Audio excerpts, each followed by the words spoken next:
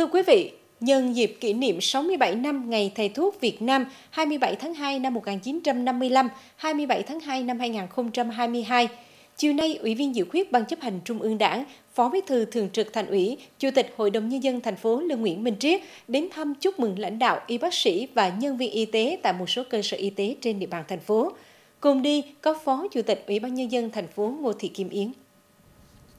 Đến thăm Bệnh viện Ung Bướu và Bệnh viện Y học cổ truyền Đà Nẵng, thay mặt lãnh đạo thành phố, Phó Bí thư Thường trực Thành ủy, Chủ tịch Hội đồng nhân dân thành phố Lương Nguyễn Minh Triết gửi lời thăm hỏi và chúc mừng đến cán bộ, y bác sĩ, nhân viên y tế tại các đơn vị nhân ngày Thầy thuốc Việt Nam. Đồng thời đánh giá cao những nỗ lực trong đảm bảo chăm sóc sức khỏe điều trị cho người dân cũng như tích cực phòng chống dịch COVID-19. Phó Bí thư Thường trực Thành ủy đề nghị đội ngũ y bác sĩ hai bệnh viện tiếp tục nêu cao y đức, nâng cao chuyên môn, phát triển kỹ thuật y tế chuyên sâu để đáp ứng nhu cầu khám chữa bệnh ngày càng cao của người dân.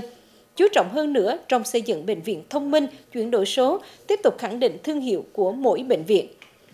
Thăm Trung tâm Y tế quận Ngũ Hà Sơn và trạm y tế phường Hòa Hải, Phó Bí thư Thường trực Thành ủy, Chủ tịch Hội đồng nhân dân thành phố Lương Nguyễn Minh Triết gửi lời chúc mừng tốt đẹp đến cán bộ, y bác sĩ các đơn vị cũng như chia sẻ những khó khăn vất vả của các chiến sĩ Blue Trắng trong suốt hơn 2 năm ứng phó với Covid-19.